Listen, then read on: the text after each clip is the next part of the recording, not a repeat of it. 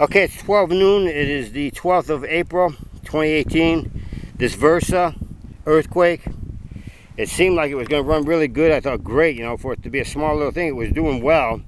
But it seems to get hot, overheat, whatever, and it's shutting down.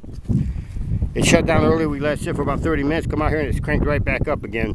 No problem. So I know it can't be anything like that because I followed their instructions. Plus, I know pretty much the throttle and your uh, choke and uh, there's one over there. It's an old piece of junk that you have to NR uh, in it all the time to get it go. It's good. It's a good power horse. I got a new motor I put on about four years ago to dig down deep.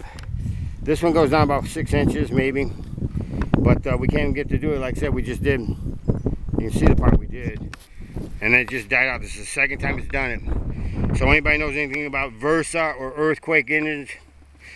Uh, comments on this. I'm going to try contacting them. I'm going to try this again. If it dies out on me again before I'm done with this, this I'm only doing one half of one half of my garden because of this thing dying down. Uh, I, I mean, this is, it's, it's a, it seems like a great little, oh, fun little tool. It's a piece of junk. I mean, if it's not going to do what you need to do, it's a piece of junk. Pay $300 for this piece of junk. And uh, like I say, it runs for a little bit and it's like, oh, great. But then after a while, it just goes down. So that makes it a piece of junk. I mean, if it ran and did one chart, and not even half the garden is done. And it won't, and I have to wait for at least about 30 minutes, let it sit and cool off. Because, yo, I don't know, the design maybe? I don't know. I don't know the facts on all that. I'm just telling you what's happening and, and what I think it is. It's overheating because we run it for about 30 minutes or so, cutting up the garden here, and only getting like a, a third of the garden a third of one half is done. Still got all this in the middle here and about half, oh, well actually we were gonna do the whole thing. I was just gonna do part of it, but now we're gonna do all of it. Because we're gonna have beans over here and then tomatoes and then peppers and then cucumber and I'm going that way. So, but uh, I mean, this is gonna, this will take like two, or three hours if it keeps dying out and having to wait for it for 30 minutes to cool off. I could see if I did this whole garden and was pushing it high, I could see it overheating and shutting down maybe for safety. But this is just gar this is garbage, okay? Versa earthquake, if that's how your quality of your product is, I consider that garbage, okay?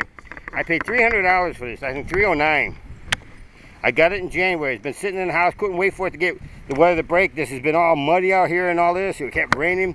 Gonna have rain Friday in two days. Friday night into Saturday morning, basically. So today's Thursday. I got all day today and tomorrow to till this sucker up, and then I got plastic to put on here. But with this thing going like this, I don't even know if I'll get it all tilled up. So Versa, Earthquake, however you want to call yourself, Viper, might be Viper, okay? The, the It's the Earthquake uh, tiller, okay? I know that. It shows right on the handle. I'm not trying to call anybody out that I don't, that's what's on the handle, Earthquake. The motor says Viper, a Viper motor.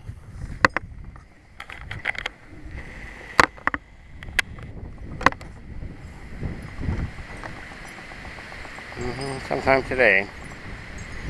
And then uh, a verse